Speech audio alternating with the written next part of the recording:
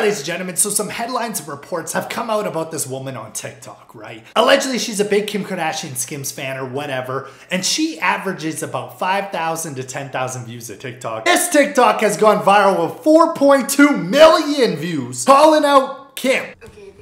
Fight with Skims and I'm not sure how this happened. I mean, I know how it happened, I just wish it hadn't happened.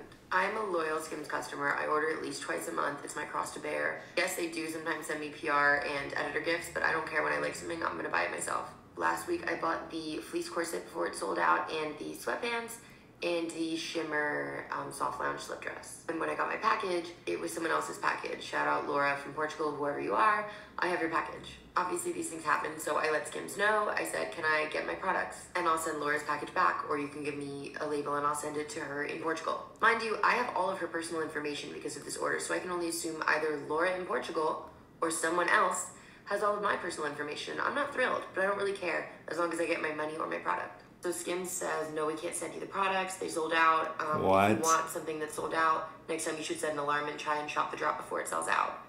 Um, which is what I did.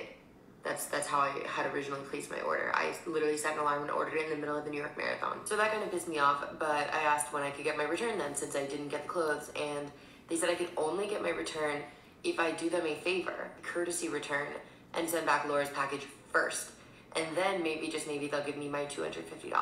So they keep mm-hmm. calling it a courtesy return, but I'm trying to figure out why I'm supposed to be courteous when they're not being courteous to me and refunding me for the products that I bought that they've confirmed they are not sending me. According to the FTC, you are not required to send back a package that you did not order. It's technically a gift. But the thing is, I don't want Laura's order. I want to give it to her or give it back to them. But I feel like I shouldn't have to go out of my way to pay to print a return label until they give me my $250 refund. Am I right? That is a dumb situation to be in. So they're like, okay, we might, we just maybe might do you a small favor if you do exactly as we tell you. Yeah, that's a dumb situation, girl. oh no, Kim, you gotta step in. All right, I understand that Kim is like the CEO of Skims or whatever, but obviously Skims and its team and its management is ran by other people or whatever who does the orders. But Kim, you gotta step in here, girl. Like, damn. Anyways, tell me what you guys think of this.